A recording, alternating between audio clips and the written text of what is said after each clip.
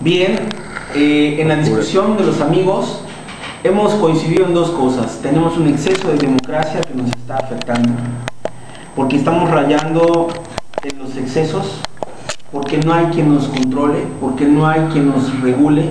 El debate político, tanto nacional como estatal, está rayando en la ofensa y eso no lo podemos permitir.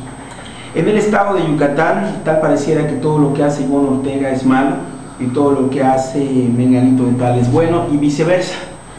La polarización es uno de los factores fundamentales que está dividiendo nuestra sociedad. En la medida en la que nosotros seamos más críticos pero responsables y que nuestra crítica obedezca a un análisis, en ese entonces le daremos, en ese sentido, una fuerza a nuestra democracia. Demasiada democracia solamente nos sirve para revolvernos más, herirnos, lastimarnos y hacernos daño como sociedad. Hoy que Plácido Domingo estará en su concierto de las mil columnas, es un mensaje que le brinda Yucatán a todo el mundo. No todo es porquería en el Estado, como muchos por allá lo quieren hacer creer, y como algunos a través de los medios de comunicación, algunos en específico de mucha circulación, han querido ventilar.